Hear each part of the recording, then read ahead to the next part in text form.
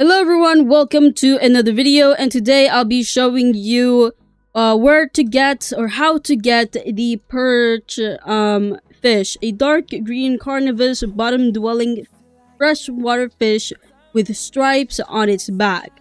So to get this you need to first go to Hollow's Ark and then follow where I'm going and you need to be also level 21 fishing level if you're not level 21, you are not able to fish this fish right here.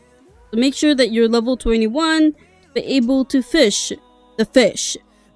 So let's go ahead and take out our old fishing rod. I already made a video on where to find this fishing spot here.